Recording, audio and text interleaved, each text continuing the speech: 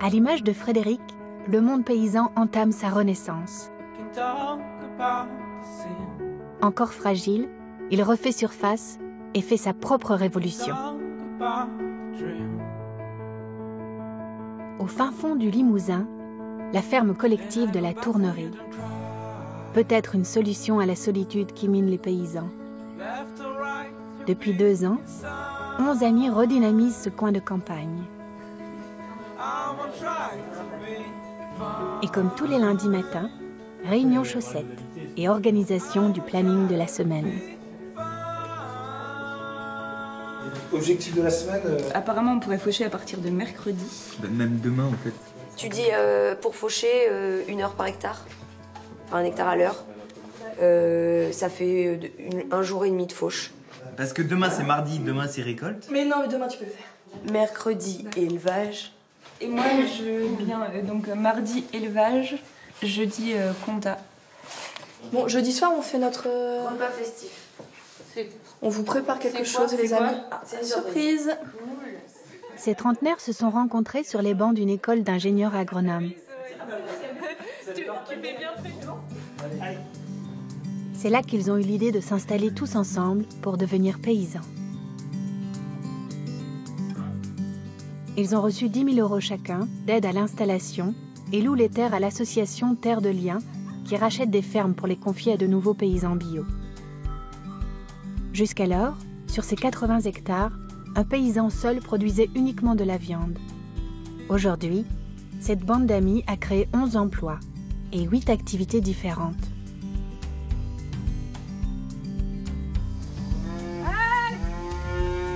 Ici, ils produisent du lait, des légumes, du fromage de chèvre et de vache,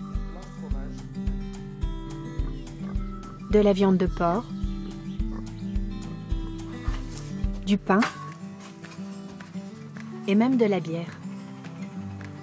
Pour compenser les aléas des différentes productions, ils ont décidé de tous se verser le même salaire.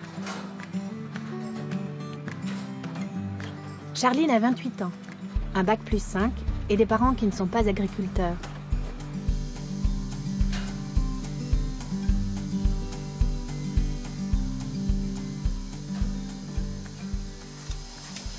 Est-ce que tu te serais installée, euh, est-ce que tu serais devenue éleveuse euh, laitière euh, sans être dans un collectif? C'est la grande question. C'est la grande question parce que on s'est vraiment lancé, du moins en vache, en découvrant au fur et à mesure. On a fait quelques stages avant, mais on s'est lancé à la découverte, quoi. Et j'ai passé, je l'aurais fait, ou alors ça aurait été plus dur, je pense. Vu tout ce que ça m'apporte d'être en collectif, enfin toute la souplesse que ça apporte en laitier, T'as que les bons côtés, quoi. Ces paysans pleins de pragmatisme ont fait de l'entraide et de la mutualisation des machines les piliers de leur ferme. Allez, allez, hop, hop, hop Allez, ma belle, allez Allez, allez, allez Allez, allez, allez Allez Allez, allez, allez Justine est chevrière. Fermer les cornadis, s'il te plaît? Oui. Clémence, elle, élève les cochons et n'y connaît pas grand-chose aux chèvres. Ah. Attends. Pardon. Il faut y aller tout doucement vu qu'elle a des énormes mamelles en crayon. Mais aujourd'hui, elle apprend la traite. Ce week-end, c'est elle qui veillera seule sur tous les animaux de la ferme. Et après, tu fais monter les chèvres. Et pareil, les chèvres, il y en a trois en monotraite et trois en bitraite. D'accord. Ce week-end, c'est Clémence qui est d'astreinte. Donc, euh, c'est elle qui va s'occuper de tous les animaux euh, pendant que nous, on sera en week-end. Donc, ça nous arrive une fois sur 11. Et euh, du coup, dans, la, semaine, ceux qui sont d'astreinte viennent faire les traites avec nous pour qu'on transmette des petits trucs qui changent d'une fois sur l'autre et qu'il faut remettre au clair. Allez, allez Fais pas les curieuses Allez, allez, allez, allez Allez, allez, allez, allez Yibi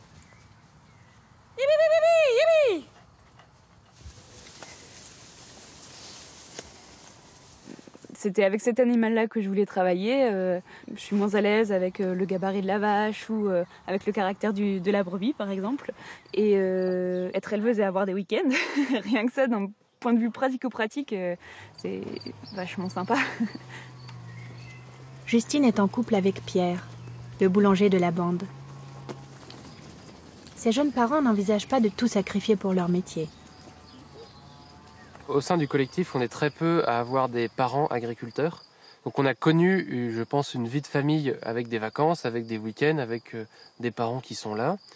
Et je pense qu'on a eu envie de s'installer en agricole en gardant euh, cet esprit que euh, ben, on peut avoir une activité professionnelle tout en ayant du temps personnel, familial, et c'est super agréable. Des cakes avec carottes, courgettes, euh, choux pointus, chou-fleur. On est combien du coup? Ben, on, est, on est nombreux, je crois. Ici, chaque jour, il y a de nouveaux chefs en cuisine. Ma soeur d'Hélène, 18. Marius? 24. Il faut qu'on augmente un peu la cadence parce qu'on va être quand même grave à la bourre pour midi. J'espère que ça va suffire 5 cakes. Ça me paraît un peu short. Moi j'aime bien cuisiner donc euh, c'est assez cool quoi. Surtout que du, coup, on a accès à des produits euh, assez chouettes que, finalement euh, peu de gens peuvent se permettre euh, d'avoir en permanence. que ce soit au niveau géographique ou quoi, en ville, c'est assez compliqué d'avoir des produits sains et bons comme ça. Moi, quand j'étais en ville, je me nourrissais pas du tout comme ça, quoi. On est assez fédérés autour de la bouffe, ouais. de la bonne bouffe moi, par exemple, j'aime pas du tout cuisiner. Et du coup, euh, au départ, ça me paraissait euh, insurmontable de faire à manger pour 25. Et maintenant, j'ai plus de mal à faire à manger pour deux que, au niveau d'adapter les quantités que de faire à manger pour. Euh, bien que ça reste toujours pas ma passion hein, de cuisiner. Mais... on a le luxe de pouvoir ne cuisiner que deux fois dans la semaine, si on veut, de par le fonctionnement collectif. Ça, c'est plutôt vachement chouette.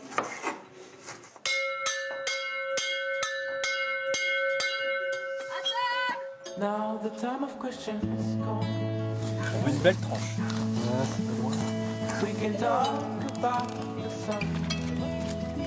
Ouais, ça fait chiant. We can talk about We can roll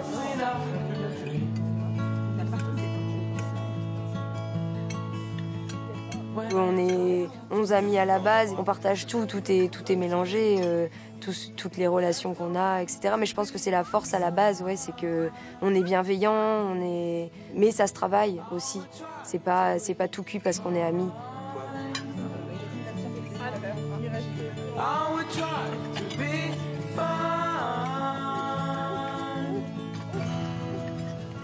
Il y a pas mal de personnes qui ont dit que ce serait impossible à faire et euh, de toute façon, euh, voilà, ça, ça, capoterait, on s'installerait pas, ou euh, ça exploserait. Euh. Et donc là, on voit que ça s'installe et qu'on arrive à, concrétiser notre projet. Donc pour l'instant, voilà, on tire pas de grandes conclusions parce que on s'est installé il n'y a pas très longtemps, mais pour l'instant, ça fonctionne. À partir du moment où on en prend soin et où on attache du temps aux relations. Dans cette ferme collective, les pauses ne sont jamais très longues. La fromagerie et les étables terminées, ils entament leur nouveau chantier, le fournil de la boulangerie. Ils font tout eux-mêmes et échappent ainsi à la spirale de l'endettement. Je suis assez content parce que tout le monde s'est fait la main pendant un an et demi, deux ans pour finir sur le fournil. pour moi, ça sera bien fait.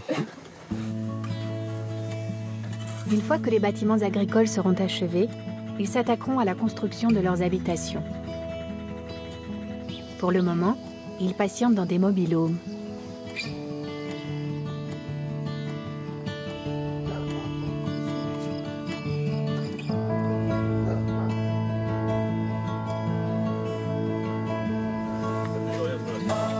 Ils n'ont pas choisi cette vieille ferme du Limousin par hasard.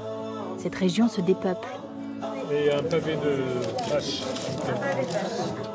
Leur magasin et leur bar associatif apportent un nouveau souffle au village alentour. On a été hyper bien accueillis par les agris du coin, euh, par les locaux, les gens du village. euh, le- les propriétaires précédents euh, nous ont aussi euh, présenté pas mal de monde et euh, ça a été assez précieux. Il y a vraiment euh, une super dynamique autour de la ferme. quoi. Ça nous permet ici, ce lieu de rencontre, d'avoir euh, des gens qu'on ne, on ne côtoierait pas normalement. Et là, comme ça, c'est des milieux d'échange. En plus, c'est une nouvelle, euh, une nouvelle façon de consommer. J'admire leur façon qu'ils font, si jeunes. Parce que ça, ça aurait été une propriété qui aurait été peut-être toute éclatée. Oui, des, des gens qui auraient acheté un morceau euh, et ça aurait été tout éclaté, alors que là, ils ont, ils ont monté un truc qui est formidable. Là, on voit que c'est quand même. euh, il y a un osmose. Ils, se- ils sont là, ils sont solidaires les uns des autres. Et c'est ce qui nous plaît. Et cette jeunesse, bien sûr. On avait vraiment cette envie de continuer à faire la fête avec du monde, euh, même si on allait vivre en campagne et, euh, et exercer ce métier. Et c'est important aussi pour nous de montrer que, je sais pas si c'est possible, mais en tout cas, ça vaut le coup d'essayer et on, on va, on va sûrement y arriver.